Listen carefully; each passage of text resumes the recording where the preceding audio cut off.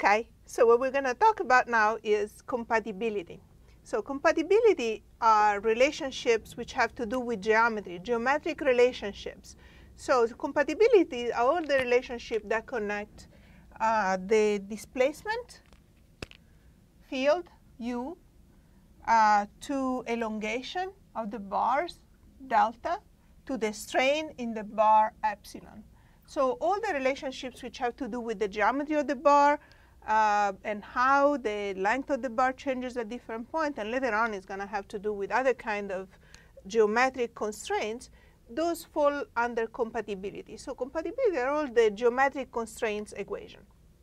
So in a problem like this, in which we had a force F applied to the block, and the block can move left and right, uh, in this kind of system, essentially everything is controlled by the fact that the block moves. And as the block moves, the bar change their length. So the kind of relationship we're going to find are relationship between the displacement on the block, the elongation of the bars, and so on.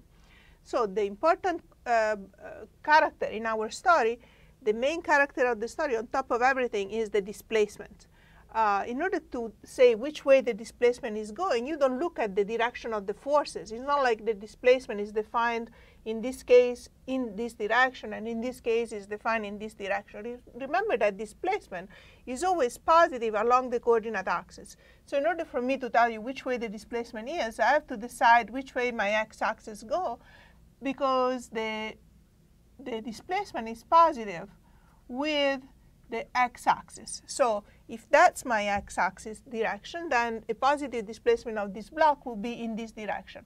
And let's define the displacement of the block and say that the displacement of the block, we're going to call it u star here. So u star is how much the block displaces. Now we're going to find the relationship between how much the block displaces and how much is the elongation of the bar. So let's say that this is bar 1 and this bar here is bar 2. And if we want, we can even give names to the different sections of bar 1 and bar 2. Let's say that this is section A, this is section B, this is section C, and this is section D. And the elongation of the bar is always can always be expressed as the displacement at x equal L at the end of the bar minus the displacement at the, the beginning of the bar, x equals 0. So in this case, with x going this way, the displacement at x equal L is going to be the displacement of section B, and the displacement at x equal is 0 is going to be the displacement of section A. Now, section B is attached to the cart. The cart or the block is rigid. It doesn't deform. So if the block displaces by u star, then the displacement of section B, which is on the block, is going to be u star. UA is nothing, is zero, because A is at the wall and the wall doesn't move. So we have the, the, the elongation of bar 1, delta 1, is ub minus ua, which is going to simply equal to the displacement of the block u star. Similarly, for bar 2, I can do the same game. I can say that the, the elongation sorry, of bar 2, the elongation of bar 2, I can say is equal to ud minus uc, u of x equal L minus u of x equals 0, ud minus uc. ud is attached to the block, so it's u star. uc is attached to the wall, so it's 0. So also the, the elongation of bar 2 is simply equal to u star. And so you see that by the definition of what elongation is and the fact that the block is rigid, I find that delta 1 is equal to delta 2. And so this is what I would call my compatibility relationship for uh, this block over here. Typically, when I say, what does compatibility tell you about this system? Well, it tells you that the bars are attached to a rigid block, so the block displaces, they must have the same elongation. Instead of going through this whole discussion over here, you can also get to the same, exactly the same answer simply by saying, well, if the block displaces by a certain amount u star, and so this is where the block ends up after it displaces, well, these bars are attached to this block. So if the bars are attached to the block, what can they do? They must go along for the ride. The sections go along for the ride. And so you see that as the block displaces, there is nothing else that can happen just by looking at the deformed shape of the structure by looking at the deformed shape of the structure, you can see that there is no other option but say the two bars must elongate by the same amount. So you get to the same thing.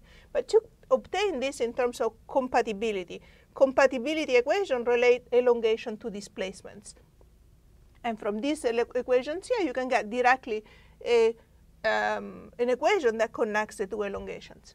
Uh, then all the other thing that you can do is you can get a relationship between the strains in the two bars.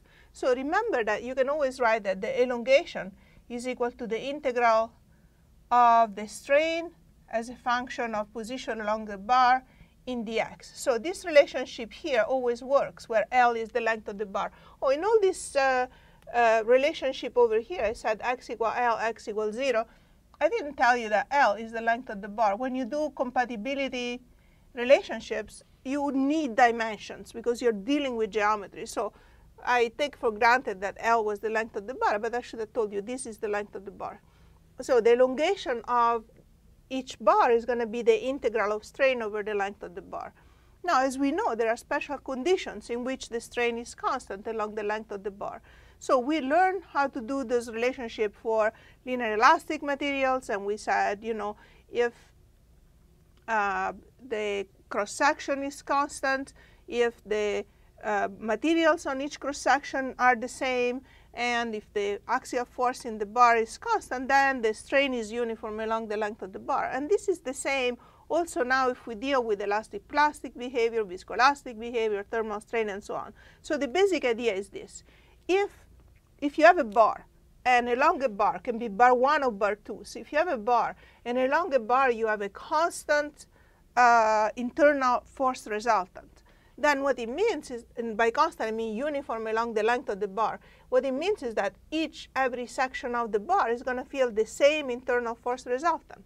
And if each section is the same, so each section of this bar looks the same as the section next to it, it can be a same elastic material, but it can also be the same elastic plastic material, the same viscoelastic material.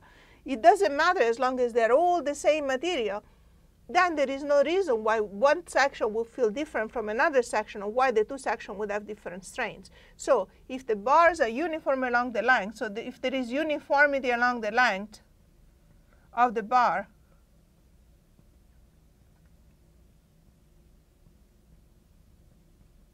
And what, by uniform along the, the length, it means that A is uniform, the cross-section is uniform, and the material are uniform. Whatever is the composition of the section is the same at all sections. And if there is the same cross-sectional area, uh, if there is the same internal force resultant along the uh, bar, so the, the force resultant is uniform. So also if there is a uniform and so under these conditions, what you have is you have a uniform strain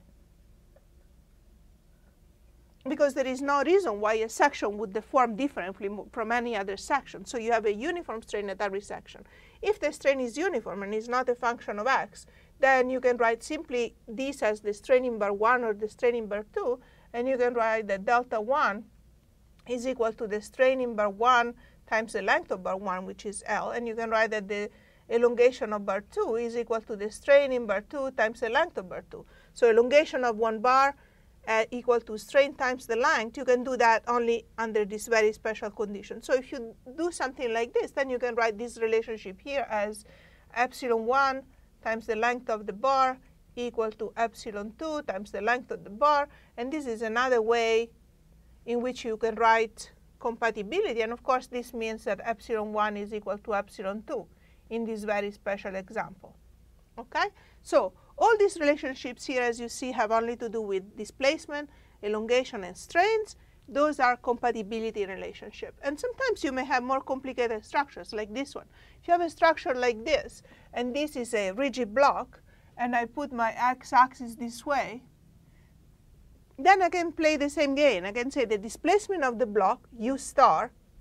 So now if you have to do u star, which way do you do u star? You do not say u star goes that way because p goes that way. x goes that way, so you define always the displacement positive according to each convention, so to its convention. So u star is positive this way, so that's your u star. And then you play the same game that we played over here. So you can say the elongation of this bar is the displacement of the section at the end of the bar minus the displacement of the section at the beginning of the bar. So you can say that the elongation of bar 1, this is again bar 1 and this is bar 2, the elongation of bar 1 is going to be u at this end, which is u star, minus u at the beginning, which is the wall, so it's 0, so it's u star. And you can say that delta 2 is equal to the displacement at the, the, end of the bar, and that's also u star because this, this section here is also attached to the rigid block. So delta 2 is u star minus the displacement at the beginning of the bar, and that's 0. So delta 2 is also u star, and you see again that delta 1 is equal to delta 2. The constraint between the elongation between the two bars did not change because the block was a weird shape and the two bars have a different length. They're attached to the same block, the block moves, they have the same elongation, okay? So what is the difference between this case and this case? The difference is that the, the length now, the bars are the same. So bar 1 is going to have length L1, and bar 2 is going to have length L2, and L1 and L2 are not the same. So what it means is now that if I write delta 1 is equal to epsilon 1 times L1, and if I write delta 2 equal to epsilon 2 times L2, what I find is that epsilon 1 L1 is equal to epsilon 2 L2. And so the relationship between the strain is more complicated than this relationship. The strains in the two bars are not the same because the bar that has the shorter length, L1, needs to have a higher strain in order to get to the same elongation as the other bar. Okay, so that's the equation for this problem here. And let's consider a case now in which you have two blocks that move. So we have three bars, bar 1, bar 2, and bar 3 of length L1, L2, and L3, and they're connected through these rigid blocks. And I put the rigid blocks just so that it's clear. In reality, I could just say they're connected at two sections where the forces are applied. But just to keep things in mind, let's call them, let's consider like these rigid blocks in between. So again, say that this block moves by a certain amount u star, and this block moves by a certain amount u tilde. And I put them in this direction because, again, I'm choosing the x-axis going that way. And it, you may choose a global x-axis on problems like this, in which you have a single x-coordinate that applies to every single bar. Or if you like to think of x going from 0 to L in each of the bars, nobody prevents you from, if you want, defining local coordinate system x1, x2, and x3 along the three bar, x1 equals 0 to L1, 0 to L2, 0 to L3 for the three coordinate system. You choose the coordinate system that you like best. But whatever coordinate system you use, you can always write that the elongation of bar 1 is going to be the displacement of this section at the end of the bar minus the displacement of this section at the beginning of the bar. So the displacement of this section here is simply u star. So I can write it as u star minus the displacement at the beginning of the, of the bar, which is 0 because it's a wall. So delta 1 is u star minus 0. Now if I do delta 2, the elongation of bar 2, delta 2, that is the displacement at the end of the bar, which is this guy over here, minus the displacement at the beginning of the bar. So the displacement at the end of the bar is attached to the block, so it's going to be u tilde and the displacement at the beginning of the bar is attached to this other block, so that's u star. So it's u tilde minus u star. The elongation of this bar is the displacement at the end of the bar, x equal L, uh, L3, which is 0, minus the displacement at the beginning of the bar, which is u tilde. And so these guys here give you all the displacements, the connection between all the displacements of the block and the elongation of the three bars. Uh, if you notice, if I, if I sum delta 1 plus delta 2 plus delta 3, if I write delta 1 plus delta 2 plus delta 3, you see I have u star plus u tilde minus u star minus u tilde. You see the delta 1 plus delta 2 plus delta 3 gives you a nice fat 0. So the sum of the elongation of the three bars is zero. Why is that? Well, because even if these things, the forms and the cards move whatever way, whichever way they're moving, the whole system is stuck between two rigid walls. The total length of the whole system cannot change. The block do not change length because they are rigid. So in order for them to remain snug between these two walls, between in a, in a total uh, length that does not change, the elongation of all the bars must sum up to nothing. They must all cancel out to maintain the same total length. So typically, if I tell you what is the compatibility constraint for this structure over here, you would tell me the sum of the elongation must be zero because they are stuck between the walls. But if you want it in terms of displacement, then you would write it that way. And then if instead of writing it in terms of displacement and elongation, you want to write it in terms of strain, then you can write your standard delta 1 is equal to epsilon 1 L1, delta 2 is equal to epsilon 2 L2, delta 3 is equal to epsilon 3 L3, and then you can take these three things and you can sub, sub them into any of these relationships to get strain in terms of displacement, or in this case, you're going to find an equivalent uh, compatibility constraint that epsilon 1 L1 plus epsilon 2 L2 plus epsilon 3 L3 is equal to 0. And so that is your compatibility relationship in terms of the strains and the length of the bars. So in all these cases here, we have been using the relationship that the elongation is equal to the strain times the length because the strain was constant along the bar. The bars are uniform length, uh, uniform cross section and constant uh, axial force resultant. Be careful if you have a problem like this. You, if you have a problem like this, in which you have a distributed load along the length of the bar, do not get messed up by the fact that you say, oh, the bar is uniform. I have a uniform uh, cross-sectional area, have uniform material, so I can write uh, this relationship relating strain to elongation because the problem is that because of this, this uh, distributed loading over here, you have dn dx equal to minus f0, not 0. So n is not constant in this problem here. So n changes n varies with x.